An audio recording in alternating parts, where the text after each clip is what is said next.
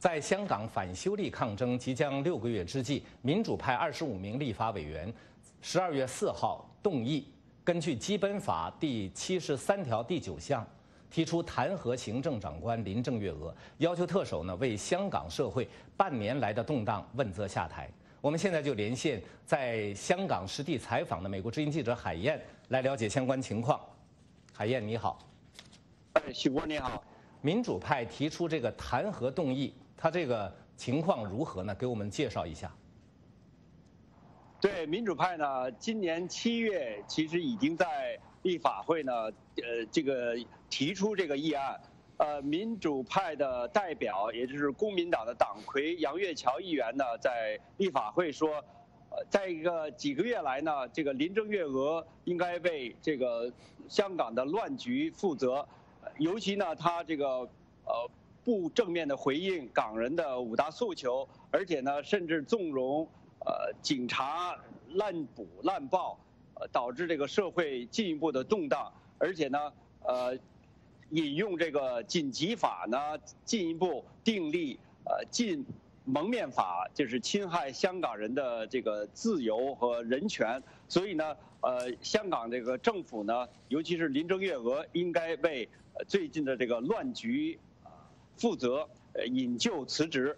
或者是由他们来提出弹劾。嗯，呃，另外呢，在立法会辩论的时候呢，建制派呢当然都是为呃林郑月娥呢辩护，认为她啊，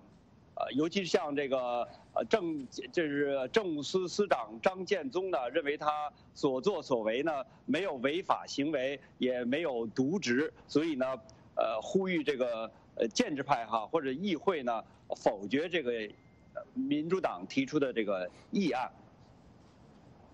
嗯，好的。那么另另一方面，我们看到呢，在港府举行的这个国家宪法日这个座谈会上呢，有媒体被禁止采访，这个情况是怎么回事呢？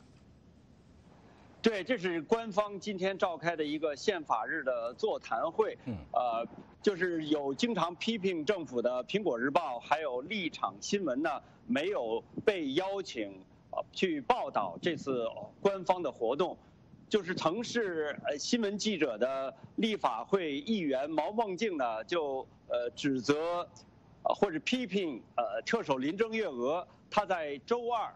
行政会议前回应美国这个签署呃香港人权与民主法案的时候，就说。呃，反问啊，就是林郑月娥曾反问说，呃，香港这个难道没有自由吗？就是说，香港人有呃这个游行集会的自由、言论自由、新闻自由，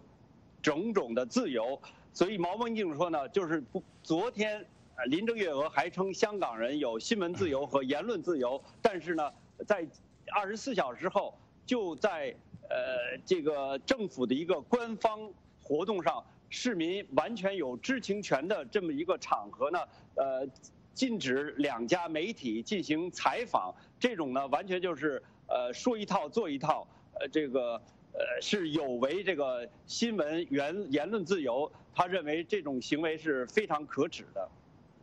好的，我们感谢海燕在香港的连线报道。